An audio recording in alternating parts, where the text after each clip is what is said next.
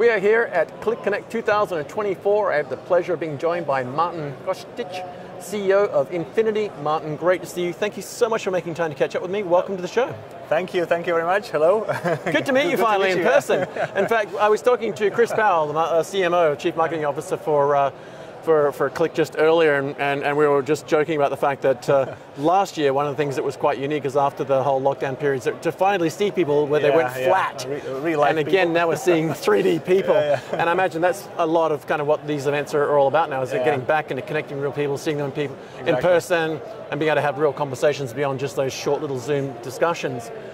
I wonder if we could kick off. Uh, I've got some a whole bunch of things I want to walk through, but Mm-hmm. uh, I wonder if we could just kick off with you introducing your company, Inphinity, Mm-hmm. and tell us a little bit about you know the sorts of customers that you have, the type of work you deliver them, and also sort of circle back into your role around that space as well, Mm-hmm. Yeah. and then some of the things we've seen this week. Absolutely, thank you. So, you know, I, I've been in Qlik ecosystem for uh, 15 years. Wow. So it's been quite a long time that I've been like around uh, with, uh, That's fantastic. um, you know, uh, solutions, uh, bringing customers value from data. Yep.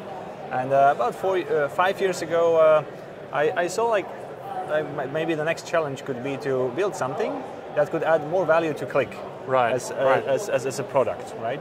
So, because we had customers asking us for, for certain uh, capabilities, especially to enter data into Qlik Yep. and to interact with Qlik, right? And that's actually how the idea of Inphinity came. Right. And it it actually proves uh, to be right. If you look at the framework of Qlik, I know uh, Yep, yep. the framework that has been presented at, the, at the general session yesterday, you know, showing the data uh, the, and, and trust in data, access, uh, analytics, predictions, Yep. and action. Right, right. And basically, Inphinity fits into this action action box, Yep. enabling people to act upon data. Fantastic. Now, I, I, know when we were talking off camera before, we were talking about your role overall as CEO. You've actually got a fairly unique way that you approach that sort of CEO role. I wonder if you could sort of describe what uh, a life uh, is like for you on a day-to-day basis, or what life, a day in the life of, of Martin uh, Kostic is like, not just running Inphinity, but also working with your customers and your customer base in dealing with some of those, because it's not just a traditional CEO role. You're actually practitioner, you're hands-on, and you're delivering outcomes Yeah. yourself. So you do all of that. What's a day in your life like these days? The downside is that I, I can't answer this question because I don't remember. I always say that I'm, I'm the chief dishwasher. Um, but when you think about your role, um, it- it's it's it's less sort of sort of the it's it's less sort of the traditional CEO Yeah, yeah, yeah. administrative, and it's more practical, hands-on. Is that yeah, fair to say? yeah, absolutely. So uh, I try to be in touch with uh, with customers and, and with people. Yeah. So uh, be- because it's very important to get feedback to to listen what they have to say, and that, that's how we develop things. You Yeah, know, we yeah. we work with customers and partners closely, very much, and and, and, and listen to what they say, right? And, it, and if you don't know the answer to a question, then ask a customer, right? Yep. Or, or ask a smart colleague, an expert who's uh, who's very skilled. So apart from doing everything, you know, I'm trying to be in touch Yeah, with yeah. customers, partners, and, and, and amazing colleagues, experts, and I'm trying to figure out what the trends are. But that's not where, the work ends, you know, for, Yeah, for a yeah. CEO, because you have to get it to reality. You have to get it to practice, you know. have to be able to drive some Uh, outcomes. Exactly, and that's actually the differentiator between a vision and a success, right? Yep. You have to make it work, right? And that is basically what it is. There's been some really exciting announcements over the last couple of days. Yeah. Uh, whether it's the uh, you know the, the amazing success story that is the acquisition Talend and the integration of all its capabilities that essentially has resulted in the outcome of the Talend data cloud integrated into the Qlik ecosystem. And at the other end of the spectrum, we've got the likes of a couple of new, newest acquisitions, slightly smaller, that have resulted in, in products like uh, Qlik Answers and the ability to work with uh, less structured or unstructured data, things that we might just have an email attachments or sitting on our laptop and, de- and Windows and PC desktops and whatnot, or even just you know whatever the case may be, spreadsheets put everywhere, email attachments Mm-hmm. everywhere, um, and then actually being able to have a conversation with it. What are your thoughts around some of those big things? Maybe just start with the, the Talend data Yeah, cloud. yeah. What, what are your thoughts on that general, and where does that fit into kind of some of the problems that you cha- uh, you know, challenge with, with your ab- clients? Absolutely. I, I have to say I love the, the vision and the direction uh, that, that I can see. Um, you know, if you look at the whole area of AI, right? So uh, you have all the cool stuff that you can see in AI, all the areas that you can actually handle with AI and AI replacing humans and so on. Really cool, right? Yep. But in reality, yeah, yeah. we have to have data right, right? So we have to we have to have AI ready data. And the problem with AI ready data is that AI ready data has to be AI ready for a particular use case. Right. And that means, Yep. you know, Do you know which use case you don't? You know, you have Yep. thousands, you have millions of use cases, and you never know which use case you're going to handle, right? Yep. So what do you need? You need a tool, a platform that will be able to set up this AI-ready data in, in that particular use case that you're going to solve, right? Yes, yes. And, and that is what I see with, with the QDI and, and, and Talend integration, because Qlik has historically been quite strong in, in, in doing difficult things in a simple way, right? Yep. And that's what I see with this product. So, Yeah, so yeah. simplifying, and that means making it more agile. So really being Yep. able to, to handle uh, various use cases and building AI-ready data for these use cases. And I imagine it gives you flexibility as well, because you don't have to have any infrastructure, you don't have to have anything installed. You, you can put your data safely into Yeah. the data cloud. You can scale it up and down. You can build models. You can run them iteratively. You might just prove the model once and then get the data out, knowing it's clean and washed and verified, or, or whatever the case may be. Or you may have a bunch of predictive analysis you want to run on it thousands, thousands of times, and you're you're only really paying for what you use.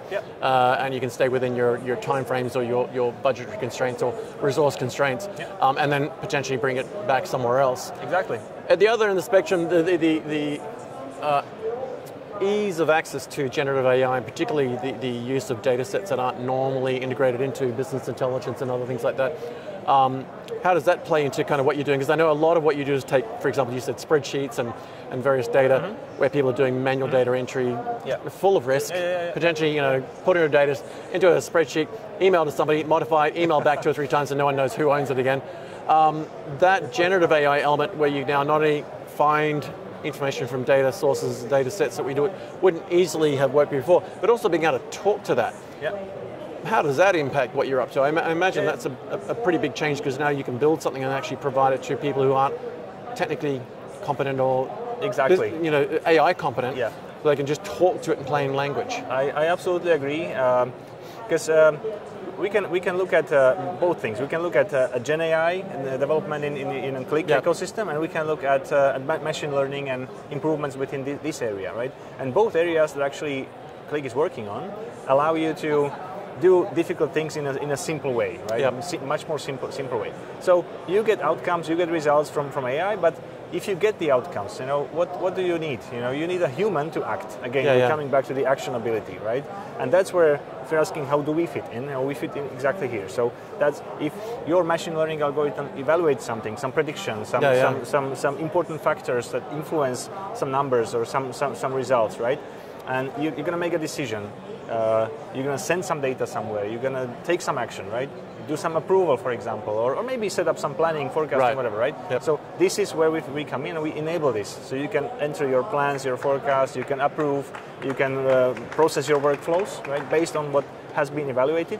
And it's also very important in building trust uh, Right, in, in- right. in AI and building trust in data to be able to adjust and modify the values. And, and you know, sometimes, you know, as we know, AI is not like 100% accurate. You know, they say ChatGPT 75% accuracy. Right, You can choose various right. LLMs, but accuracy will vary based on use case and type of data. Yeah. So in the end, you need this human element, the human augmentation, Yeah, yeah. kind of human-led AI. I oversee say, it yeah. and govern it.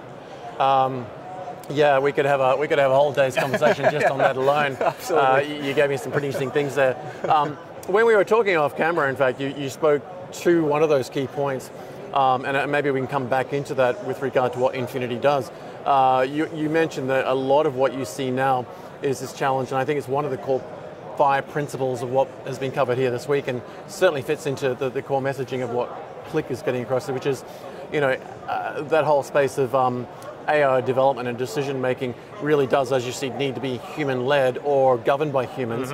Um, and as I said off camera, you mentioned that you spend a lot of time working with your customers and, and looking at how you can make AI practical and how you can get real value from not just your data and AI, and Yeah. as you said, quote unquote, to bring it to people. Exactly. Um, I'd love to kind of get some insight into kind of where Qlik plays into that, and which Yeah. parts of the Qlik ecosystem tools use to make that happen. So maybe walk us through what that looks like as a, a not just a data pipeline or a process, and then which parts of Qlik you leverage to make that happen, because Yeah. that's a fairly complex challenge. Exactly. But it, I imagine a lot of what Qlik offers makes that simpler or even possible. Yeah, well, exactly. Um, as, as you mentioned, so our role basically is to, to, to bring the, all of these amazing things to people, Yeah. right? But when you start to talk to people, you know, you, you find them in some business reality, you know, let's say. And this business reality is often about uh, spreadsheets. You know, Yep. maybe if even if they have some BI, they export it into Excel spreadsheets. They send these spreadsheets spreadsheets over the place. Uh, ask other people to enter Yeah, some yeah, data, yeah. consolidate all this information, and then you know these these use cases use cases can be anything, but ma- mainly uh, a large large part of these, use cases is, is around planning Right. and, and providing some forecasting feedback and so Yeah. on. That's why we recently released, actually last week, we released a new planning extension Mm-hmm. because Inphinity has been used for planning for forever. Right. I would say 100 years, but some 100 years. At least 15 is, uh, let's say.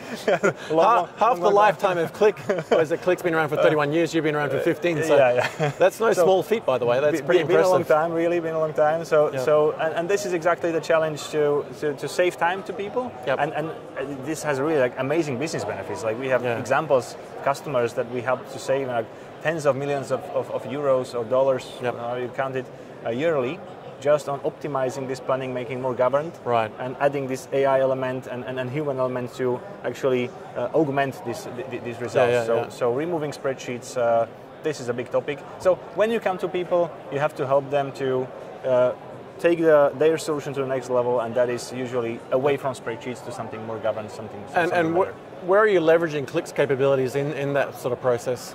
Yeah, yeah. So Qlik basically uh, covers the whole end-to-end uh, Okay. process from data integration, data preparation, data quality through analytics, um, predictions, and now Gen AI, document AI, which is like a natural you know, Yeah, yeah. first step for in AI for, for business, I would say.